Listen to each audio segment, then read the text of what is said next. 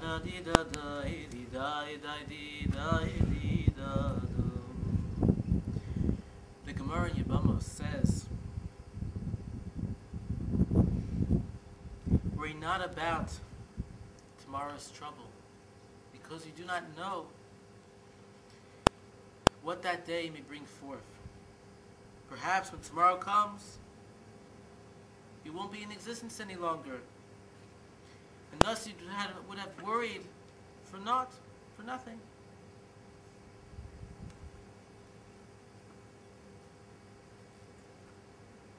This is a very deep concept, especially in our time period when the U.S. economy is going down to the tubes. Even the European economy has problems. You have threat from Iran, all these different things and person you know it used to be before you turn on the radio in the morning you hear Rush Limbaugh. Now people turn on the internet they see every news CNN ABC News Arutz Sheva it's endless. And they worry and worry what's gonna tomorrow gonna bring we're gonna be at war.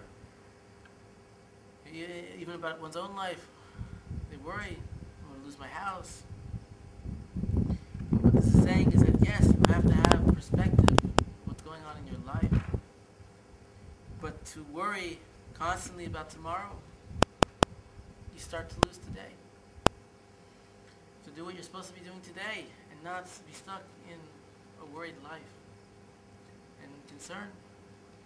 A person has to have faith that Shem will not take out the American economy so badly that Russia becomes the, the next superpower Iran. Let's be realistic. Hashem will come to the aid. When we call to Him, and we're going to call to Him, we are calling to Him. I made this trip to Tiberia, to Rav Chaim Luzzatto, who's behind me, Rav Akiva, behind him, to pray for the economy, to pray for the world, because I'm worried a little bit about tomorrow. But that worry should be in perspective that today we should do what we're supposed to be doing and realize that for tomorrow to be good, we have to be studying Torah today. No matter what, we must be kiveitim b'Torah. We must pray and daven to Hashem and do our best to, to follow all the halachos, the commandments that we've been given. And not to have in our mind, which I find myself having, you know, how do you have time to, to learn the Torah? You have to work. You have to, you have a lot to worry about. What's going to happen tomorrow when they try to take your house put you in jail? We can't live like this. We have to think for now, today. And most of our emphasis, 90% of our koach, our strength has to be on today. 10% on tomorrow. Maybe less. And going even further, to worry about this very moment this very moment that I'm standing here, I was thinking, I was looking at the beautiful surroundings here. It's very in the lights. I was thinking to myself, how can I be looking at the lights when I need to learn Torah? So I closed it up and I opened the Ein Yaakov, and now I have another shirt to give you. Because I closed it up, because I, I, I worried about now. I worried about now. This is an opportunity that I'm in. I study the Torah, study the Torah, and I must grab it. I wanted to go out yesterday to, to teach Torah. And instead, I, I worried about my parnassa, I worried about tomorrow and I didn't do it. But then I realized, I told my wife afterwards, if I have the strength, if I have the energy that in my heart I want to teach Torah, in my heart I want to be involved in something Jewish, then forget your worries. Forget your worries. You've got to drop what you're doing. You have to involve yourself and grab this moment because it doesn't come all the time. You know, we're weak people if you have the energy to say, to pray, because I'll tell tell you if you if you have a feeling to pray, you should drop everything right then and, and, and start praying. You, you this is an opportunity uh, where Hashem is calling to you. This is why you have this opening. You must grab it. You must utilize it and worry about that moment, and and, and, and, and, grab that spark of, of, of Judaism, and don't don't throw it off because it may not come back. Don't worry about tomorrow. Tomorrow may not be in existence.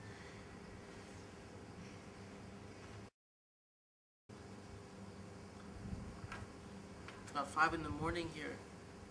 Tiberia, thinking of a song to sing during these three weeks. I feel like singing Modani. This is a tune that my wife and I wrote and composed on our CD, Kavanos Alev, which you can find online. And I ask you all to think about donating to I Love Torah continue this work with even a more clear head so I can bring forth important Torah that is not just for our generation but that should be continued to be viewed for many years to come.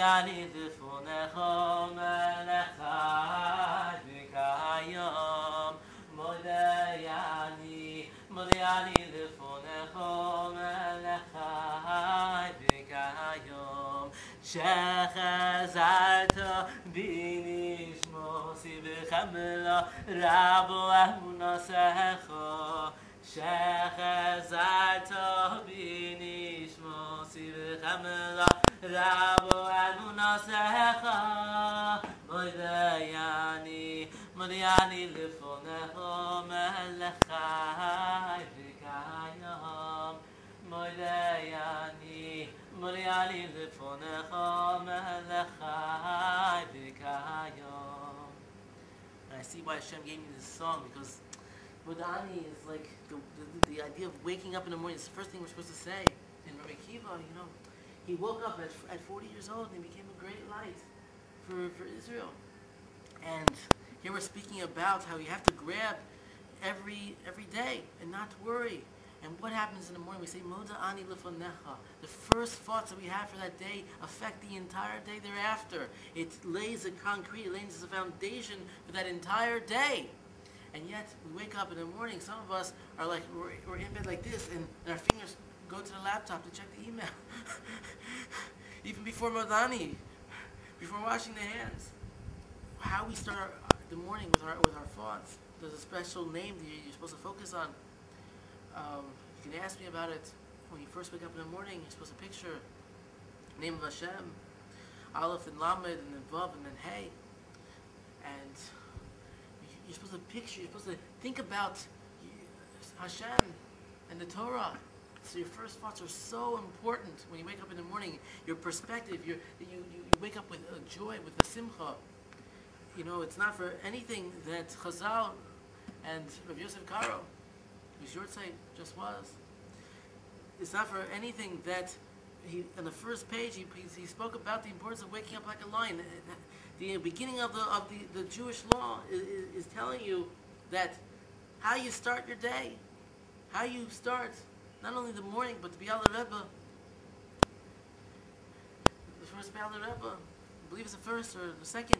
So he said that not only how you start your day in the morning when you wake up, but you know, in, in, in, in Judaism, the day really starts when it's sundown, at night.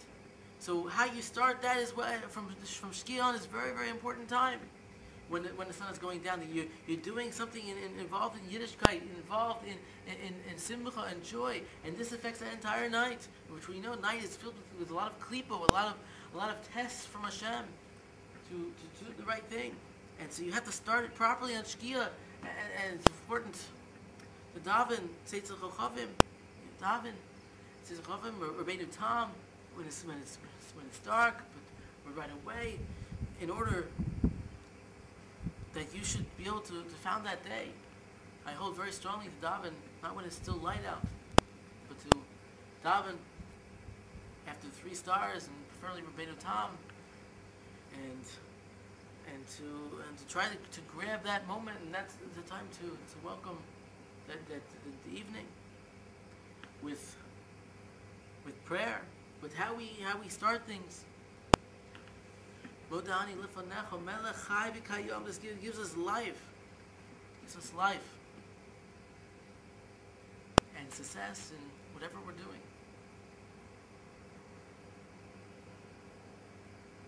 Close to the holy tzaddikim, my father Shlomo Zalman ben Yaakov, Shavim Shemayim. happens. Thank you for joining me.